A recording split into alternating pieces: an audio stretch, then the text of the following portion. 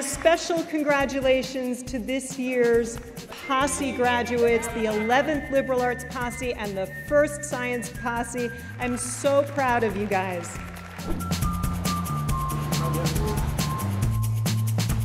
The Liberal Arts Posse had been working extraordinarily well at Brandeis for more than 10 years, and we thought why not copy the model and create a science program.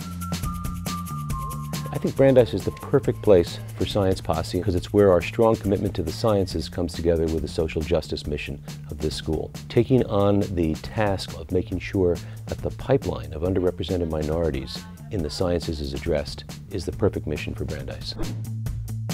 Having seen Posse work so successfully at Brandeis in the broader liberal arts, I thought that it might be worth giving it a try specifically to address the lack of diversity in the sciences. She's gonna probably Guys, it's 8 o'clock. go to sleep. What makes the students succeed? They are passionate, they are excited, they want to learn, they have a real commitment to science. I'm going to be a fourth year student here, senior at Brandeis. I'm a biology major. This summer I'm working on Lou Gehrig's disease. I'm going on to medical school after graduation.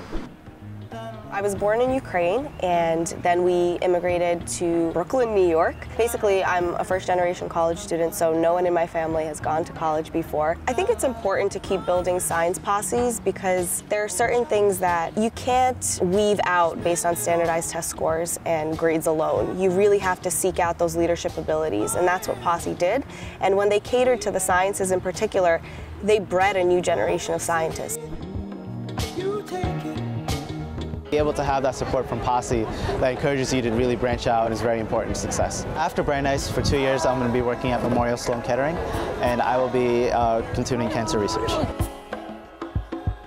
We really believed that Posse's model of recruiting students in a non-traditional way, training them for eight months before they go to school, and then supporting them for four years on campus could work with science.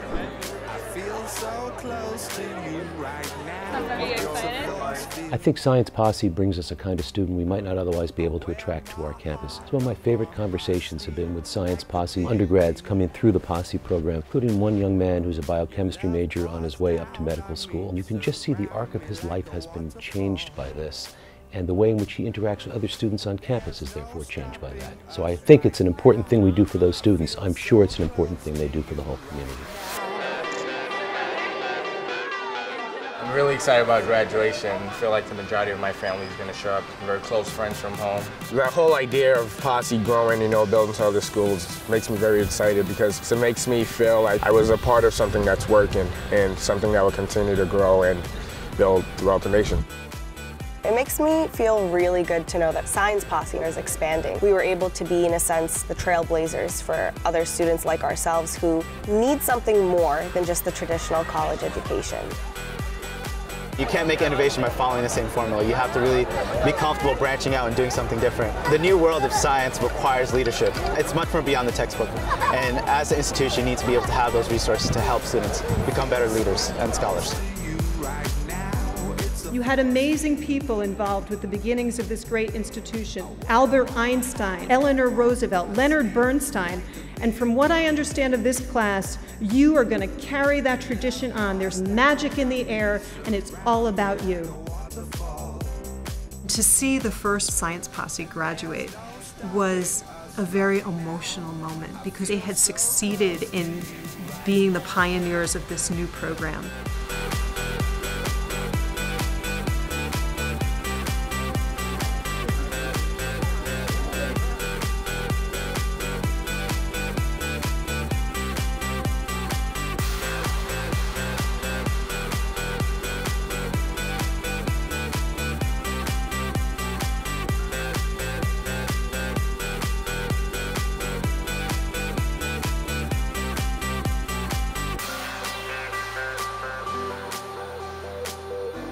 Jeff Ubben and Mark and Leslie Silcox gave us $5 million and said, take this money and go double your program.